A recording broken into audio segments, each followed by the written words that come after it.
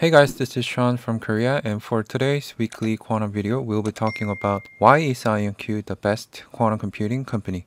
And the evidence comes from the IonQ attending the Morgan Stanley TMT conference. Right, so we'll be talking about what was covered in the conference. So IonQ CFO Thomas Kramer and the head of IR Jordan Shapiro attended the Morgan Stanley TMT conference on March 7th and they attended the last tier one as well. So I'll be introducing what the questions was and what the IonQ's answers was.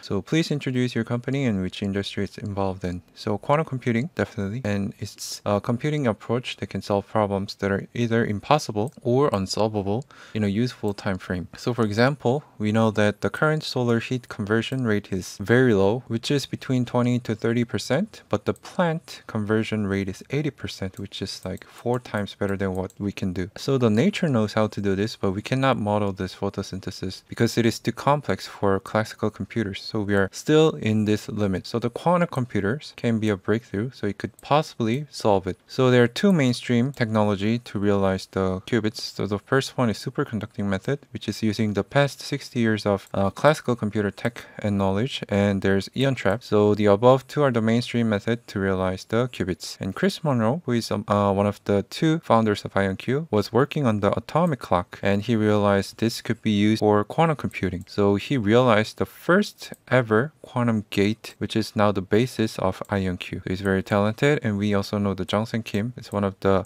big pillars of the IonQ's technology. So the IonQ is basically the Chris Monroe plus Jungsang Kim's more than 25 years of quantum computing research and their uh, capabilities and skills. So next question is where is the company on the roadmap now, and what can we expect in the next few years? So their answer was Moore's law states that as the computing power increases, the classical computer's cost decreases, requiring a large number of transistors. But in the case of a quantum computer with only 70 logical qubits, in case you don't know what the logical qubits is, it's the perfect qubit without any error. So with 70 of logical qubits, it is possible to achieve the highest level of modern supercomputers. So there's logical qubits versus physical qubits. Physical qubits are mostly uh, useless because it contains high error but the logical qubit is very useful or it doesn't have any error. So we want to achieve the logical qubits. And most quantum computing companies emphasize of qubit counts, which is the physical qubits, not the logical qubits. So you want to know that. And IonQ already has 25 useful qubits, which is algorithmic qubits. So I know this is a,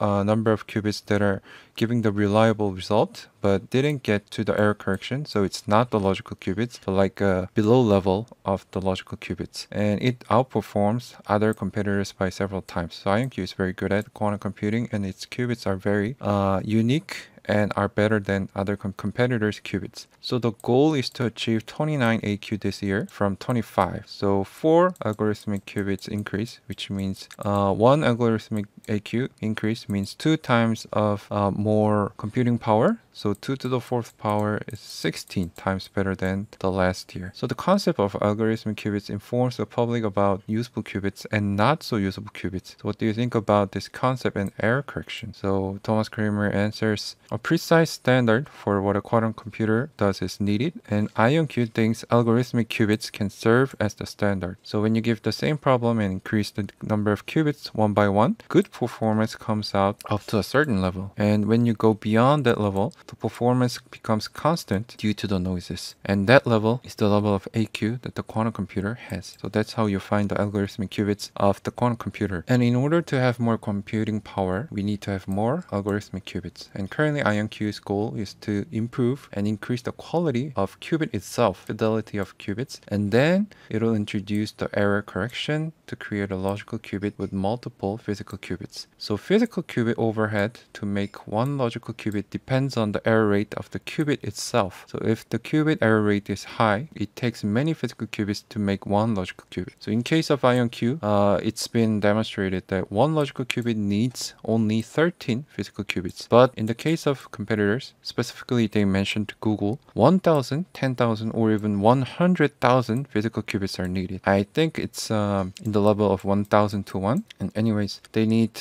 a lot of physical qubits to create one perfect logical qubit and this is very difficult because I know the best superconducting method uh, corporation, IBM, only has 433 qubits on it, so you cannot even create one perfect logical qubit with the current architecture.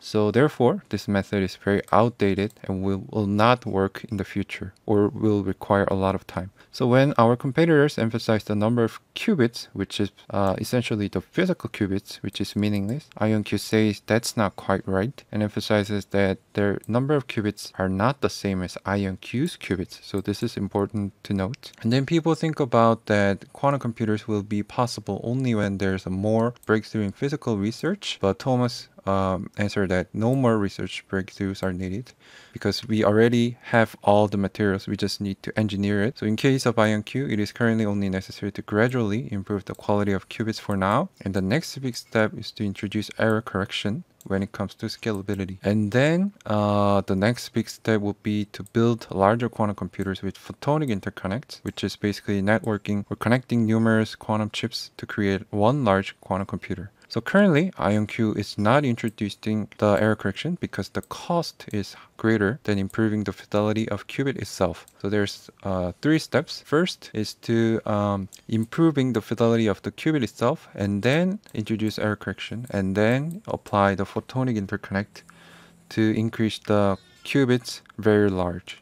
In terms of revenue generation, IonQ already announced the booking of 2022. So what are the applications that IonQ have developed? So Thomas mentions about optimizing error loads with Airbus, which is a very complex problem which the modern classical computers is not able to solve. And then the next project is the uh, studying for the self-driving with Hyundai Motors. So the goal is to solve even the exceptional cases such as Tesla colliding with a truck because it was difficult to see because of the sunlight. So quantum computers are basically very good at machine learning, so figuring out what to do with the data. Also at the time of the first quantum computers, they were huge devices. Recently IonQ is introducing to reduce the size of the quantum computers. Why is that important? So the answer, computers should be small. If ENIAC was so large and it remained, there would not be any developments. So the classical computers wouldn't have developed like this. Since IonQ's goal is to miniaturize the quantum computers, it will not use other freezers like what the superconducting method companies are using. So IonQ's QPU can be operated in room temperature and is currently the size of a kitchen refrigerator, which is very small compared to other competitors. And it will continue to miniaturize the quantum computer even more so it could stack the uh, QPU in the server rack. And what applications can hybrid computing can be used for. So IonQ is currently, so IonQ is working with Dell to bring hybrid computing to Dell's customers, which are basically uh, the large corporations. So current computer operating systems know problems and distribute them into operations that CPU and GPU can do well. But IonQ's goal is to add the quantum availability and provide quantum computing power in a timely manner when it is needed. So I expect the revenue from these large corporations using the hybrid computing will soon be realized, which will greatly help uh, increase the IonQ's revenue in the future. So there was a plan for the first manufacturing facility in Seattle, which will be completed in first half of 2024. And there was also a merger and acquisition of entanglement networks. So what's your, what's IonQ strategy? So the search for a place uh, having a rich in talent led to Seattle and their goal is to manufacture a properly commercialized quantum computer, not a computer that was assembled by assembled by the researchers, but having um, more durability and more properly commercialized. So Entanglement Network Acquisition. So ENN is a company acquired in January and it researches quantum algorithm verification and how to optimize and run it in a different hardware. So IonQ will utilize this team to increase the efficiency of running the algorithms in current QPU and also in the near future multi-core multi-QPU architecture and also in the long run for the specific algorithms. So basically ENN are composed of software and compiler experts which will help IonQ to uh, efficiently uh, optimize and run the algorithms and also to uh, realize the photonic interconnects, I believe. So in the Q&A session, someone asked that will IonQ go full stack? And I think he doesn't know IonQ that much because it is already full stack. IonQ is not just making the SDK because they're many good of them. And operating system applications, they're already making it. And Quantum, uh, and someone else also asked, Quantum Cloud, Quantum Service, and Quantum System sales. These are three major uh, revenue streams for IonQ for now. So which will have the biggest revenue growth? So Thomas answered that uh, so far cloud and service has been big, but when quantum computers are commercialized and available for sale, they will be the biggest sales because quantum computers are very expensive. They are like eight to nine figures. But in the long run, as we already know that classical computers have bigger software market than the hardware market, and quantum will be the same. So the software will provide greater value in the future, in the long future, and software sales will grow even larger. So IonQ already knows that, and that's why IonQ is going for the full stack. So someone else also asked, do you have other M&A plans? And um, Thomas said, yes. Companies that could accelerate the IonQ's technology roadmap, they are the candidates of M&A plans. So in the near future, the roadmap to 10 to 20 years from now is much more complex, so they'll need more talents. So they're open to further M&A plans. So my thought overall is that experts say 70 logical qubits could reach the current superconductor levels, and from the IonQ's uh, tech roadmap, it'll be sometime near 2026 when error correction is introduced to reach 256 AQ. And also Google versus IonQ, IonQ wins because I already told you Google needs uh, thousand to million qubits to create one perfect logical qubit, and the best one among the superconducting method, IBM only has 400, so they cannot build any logical qubits for now, but IonQ already have 32 qubits and they only need 13. So theoretically, they could create two or more logical qubits. So we could uh, simply compare and see IonQ is the best. And IonQ's qubits have a lower error rate. Their first step is to gradually lower the error rate to increase the AQ, which is they're doing right now, and then introduce error correction, and then introduction of photonic interconnect to create a very big uh, quantum computer comprised of many QPUs. And we know that D-Wave, Rigetti and Quantinuum is having a very difficult time because of the macro situations and key personal leaving, but IonQ is doing a lot better because it's acquiring acquired ENN, established a manufacturing facility, and they're expanding its global base everywhere. So we could see that IonQ is outperforming other comp competitors. So my personal opinion is that currently the leading group has begun to be distinguished, which I think only IonQ and IBM will survive uh, and lead the group. So IonQ always proves its supremacy with results, with clear roadmap and confidence.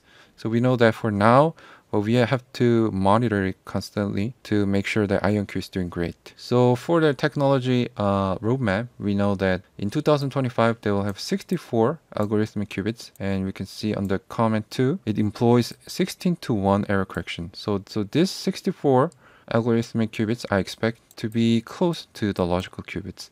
And then on 2026, they will have 256 logical qubits. So between these two years, we'll reach the level of current supercomputers. And from their slides, we know that uh, their three-step plan is already applied in the uh, roadmap. So phase one is error reduction by improving the fidelity of IonQ's QPU's qubit for now. And then they will go to error correction, which is expected to be applied around 2025. And the last step will be the modular scaling, which is uh, realized by using the photonic interconnect, which is expected to be applied on 2027. So we'll have to monitor this. And then photonic interconnect is uh, networking many QPUs by using the existing photonic and optical fiber and switching technology. So they'll use the uh, optical fibers and optical switch, which Jung Kim is very good at. So he has experience of building largest um, optical switch in the world. So we know that they already have the talent and the skills. We just need